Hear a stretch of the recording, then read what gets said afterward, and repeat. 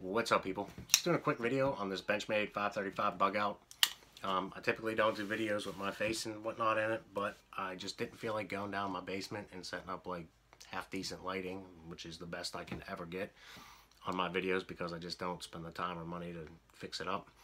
But um, there's a bunch of other videos on this knife and you can get the specs off of Blade HQ, so it's really not to really showcase the knife that much, just give my thoughts on it. Um, like I've had this for about a month, maybe a little longer, month and a half, something like that. And I have to say that I really do like this knife. Um, we'll start off with ergonomics. Um, it's just a straight back knife. The design's, you know, nothing crazy or wonky. Just really a standard handle, and I like that. Um, there's no thumb ramp. I'm not a big fan of thumb ramps. There's some knives that, I, that have thumb ramps that I don't mind. But for the most part, I just feel like it's always a limiter for me. Like this, they force you to get your hand in that position. Like if I want to push up a little bit or if I'm doing something you know, I'm kind of limited. And that's just my preference, but it is what it is. So I do like the ergonomics. There's nothing, like I said, it's a basic handle design that's comfortable in all the positions of the knife. Nothing to complain about hotspot wise. The clip's fine. Every once in a while I will say this, and this is kind of me. I'll put it in my hand, grab it, and it kind of like throws my pinky off something. feels a little odd at first. And then sometimes I grab it and it's absolutely perfect. So I don't know what the hell I do, but it is what it is. Um, onto the pocket clip. It's a deep carry pocket clip, right or left hand carry. Um, I don't I don't care whether the clip's deep carry or not. Uh, to be quite honest, I'm not worried about concealing a knife or no one anyone knowing I have a knife. I don't really give a shit. So that being said, this clip is functional. Um, it's a little loose, and I don't know if you'll be able to see it in this video. Oh, I got it. There you go. There is a little space between the clip and the handle material, and uh, it feels loose in some pants. Not all my pants, but um, a few of them it felt loose in. Now I could just take it off and bend it down a little bit to get the tension where I wanted it to be. But like I said, it's not felt like it's going to fall out of my pocket. It just kind of moves left to right, but it doesn't like come out of the pocket if you get what I'm saying not as much tension as I like. It's a little bit of a hit, but like I said, I could fix it, but it hasn't affected it enough for me to even take the time to do it. Um, the blade, three quarter ground, a little bit more probably than three quarters of the ground, full, full flat ground S30V blade. Um, the steel, I haven't sharpened this knife yet, so um, I've stropped it and it's held up fine. Common S30V. It's nice thin blade stock and it's reasonably thin behind the edge. This thing really does slice very well. I've cut up a bunch of cardboard, some zip ties, food, whatnot. Um, it definitely slices if you have a Manix 2 lightweight or a Manix 2. Definitely slices probably a little bit better than that. Um, action on it is uh, mediocre for Benchmade. I mean, it's not a free dropper. But, sorry if you hear my kids screaming in the background. But, like, doing the typical Benchmade flick, it's fine. It just takes a little bit of a flick, that's it. But like I said, it's not a free dropper. The blade's pretty light. It is a lightweight knife. I mean, this thing weighs less, two ounces or like right under two ounces.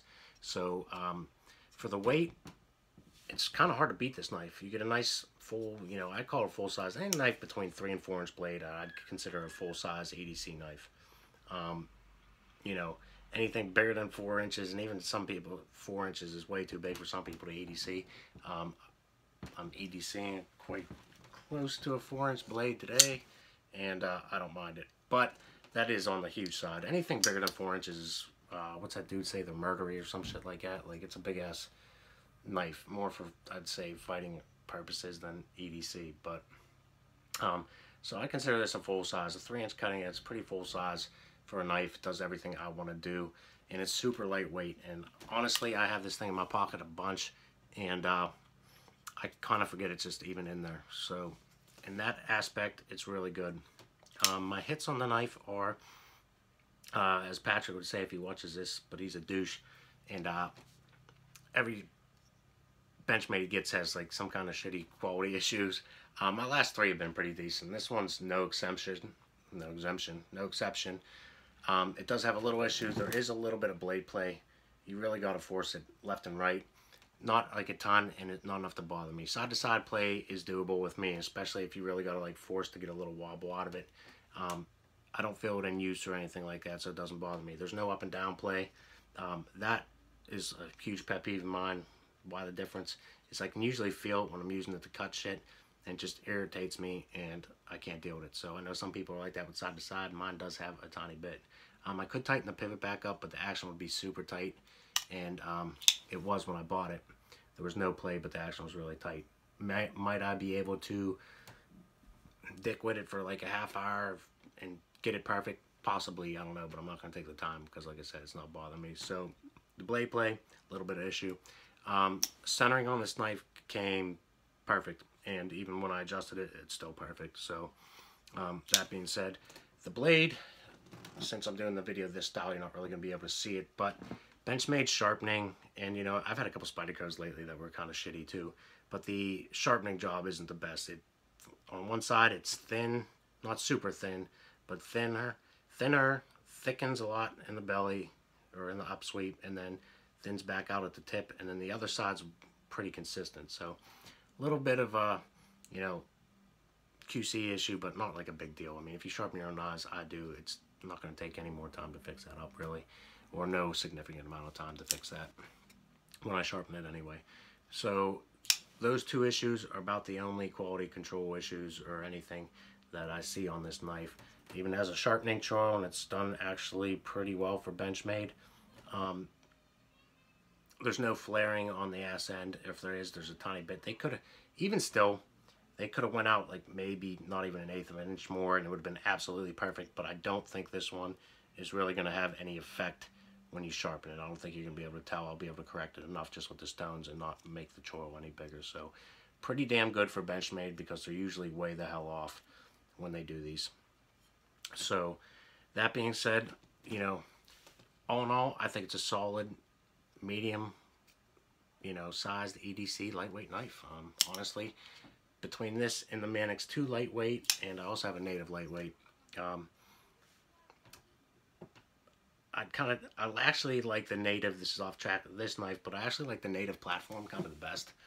I mean, it is smaller, and I just like the ergonomics of it, but I don't like the lightweight knife version of the Manix. Um, the Volcano grip with the clip on is super tight, so that being said, out of these two, the most carried out of this and the Manix 2 lightweight is kind of a tie, to be quite honest. This knife is better, as in, it slices a little bit better, I believe, and um, it's lighter and it's definitely a slimmer profile in the pocket. So if you're looking for like the most concealable version of a lightweight, medium-sized knife, this is definitely it. The max 2, I think, is a little bit better as a um, everyday EDC. And the only reason I'm saying that is when you're just cutting up a couple things with this knife, it's no big deal. But this knife is thin this way.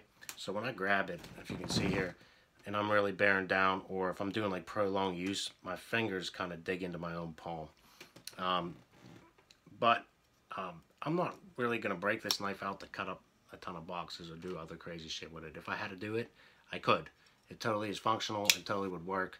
Um, I have broken up some boxes with it, but like I said, I've had a big mass pile cardboard. The Max 2 is a little bit more comfortable because it's wider and prolonged use than this knife to me. But as a general EDC lightweight knife, this is great. Honestly, um, I think they'll, I know they've already sold a bunch and they'll probably keep selling a bunch of these.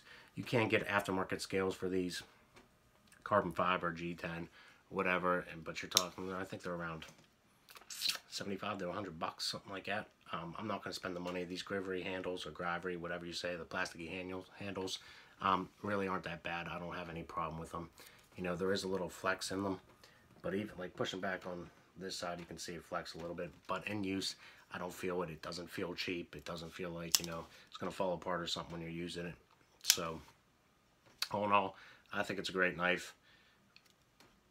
If you're thinking about one and it fits that type of bill for you, I'd say pick it up, I don't think you can really go wrong, wrong with it. I mean, if you do have some shitty QC issues, Benchmade does have a great warranty. Um, that's one thing you can say about them. So, um, yeah, that's it, people. So, talk to y'all later. I'm out.